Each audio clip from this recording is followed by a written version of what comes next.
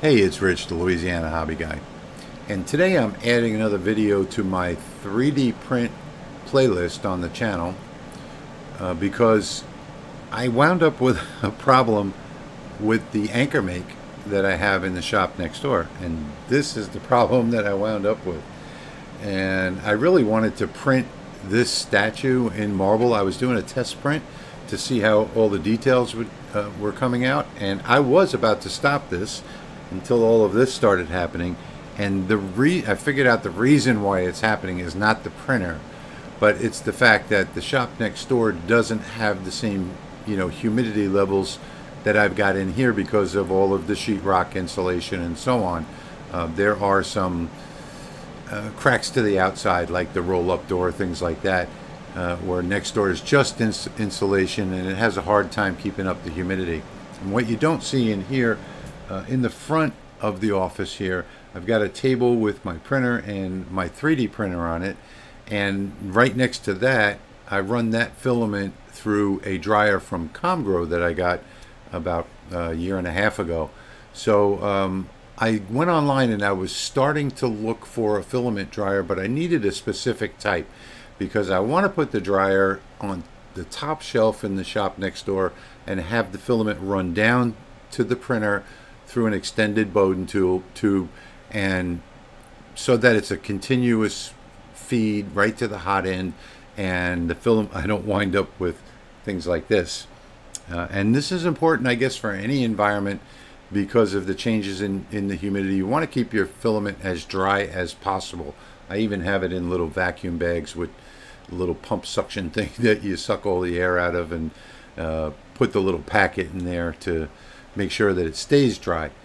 Uh, but I don't have to worry about that on the Bambu Labs, and I could run this on the Bambu Labs, but I want to be able to run that printer regularly next door. So that's what today's video is. And just so happened that while I'm shopping for a filament dryer, this company here, what you see behind me here, FixDry, sent me or sent me an email and said, we'd like to send you our dryer for you to test out.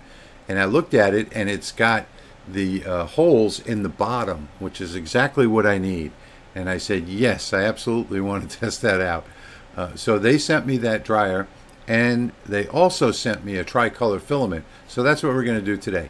Uh, I'm going to reprint this. I'm going to install that dryer and I'm going to reprint this and make sure that this doesn't happen anymore so let's jump over next door into the laser lab and let's get started and hook this thing up and run this print and see what happens. All right, so this is what I've got. This is the dryer right here. Uh, it's the model NT1.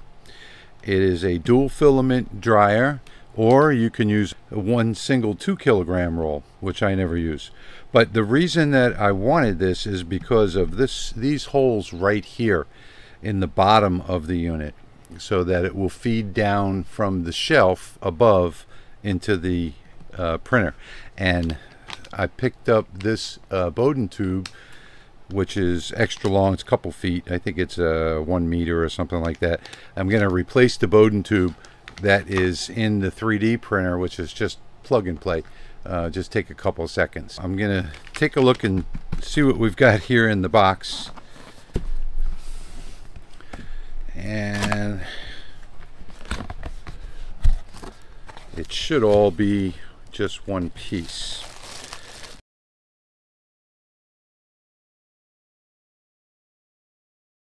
Here is the cover and these are the holes that I was talking about right here. So when I put this cover on, now I'll have holes in the very bottom part right here that'll feed the filament down from the shelf. And once I get this uh, uh, set up you'll see what I'm talking about. Let me just make sure. There's the heating element. The only thing that I would like to see oh maybe it does have it right here. A diverter for the heat so it doesn't go directly on the filament and I didn't I didn't look at the, at the owner's manual yet which I probably should do you should always do that when you get something new. It has a really short Bowden tube that I'm not going to be able to use. And look at that. This is exactly what I was going to say that I that this thing is lacking, and it's not. So it does have this little piece that fits in these holes. It doesn't snap in or anything, but that diverts the heat up and around, and that that is what you're looking for in a filament dryer. So it's got nice nice rollers inside here, and you can see you can put one roll of filament in here like that or and this looks like this is going to work well with the cardboard rolls as well. Shouldn't be a problem at all. You can put one roll like this of, of the one kilogram or you can put a big roll of the two kilogram on there. So let's switch over to the other camera and let's take a look at the setup how I'm going to be setting this up.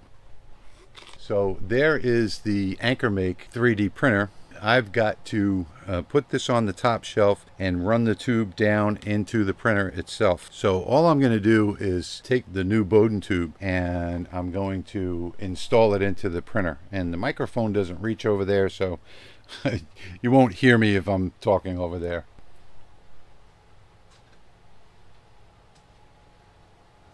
This is the original tube that came on the printer.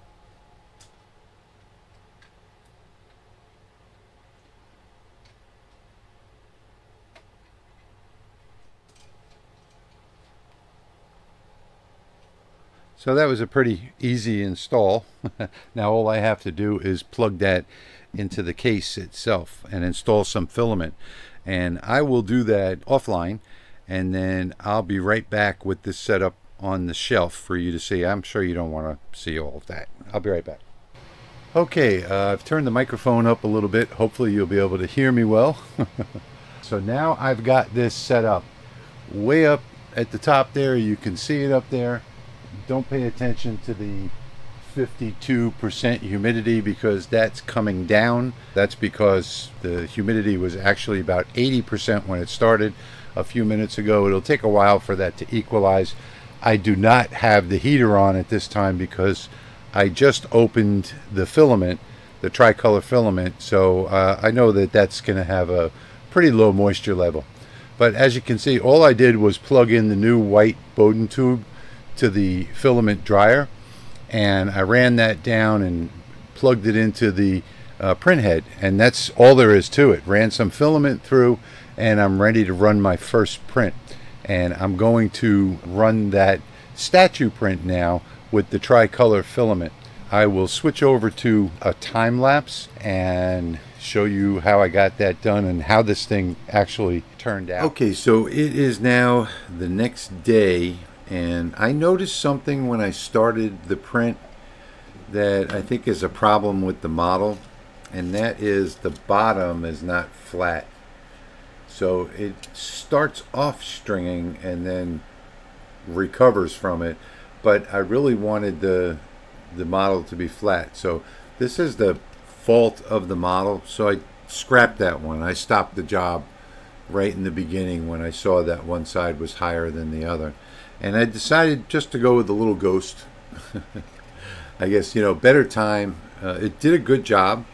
I didn't have any problems with it. Right here you can see the band where I stopped the job because, well, I started recording this last night. It's now the next day.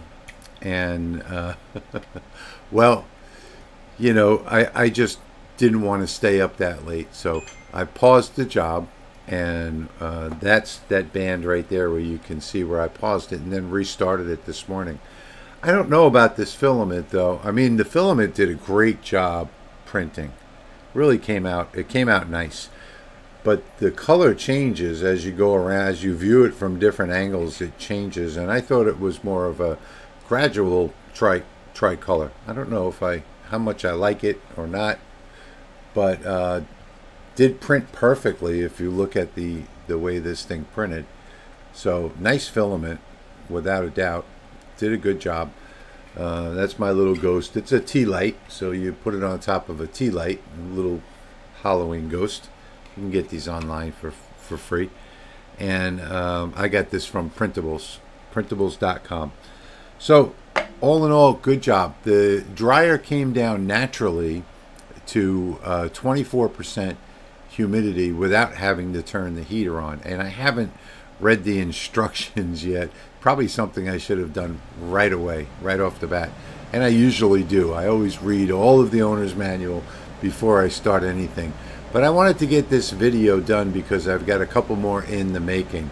So uh, the next one is that LaserPecker 4 down there on the ground that I need to get to. And I've fallen so far behind that uh, I wanted to get this done so now I'll go back and uh, while the, a video is processing or something else I'll read that owner's manual and I'll go through it and make sure I've got all of the settings uh, proper on there but it is at a good humidity and a good temperature right now just the way it is I put a big pack of desiccant inside of it to maintain that humidity and um, hopefully it's going to work really well. So far, I'm going to give this two thumbs up. It's exactly what I needed.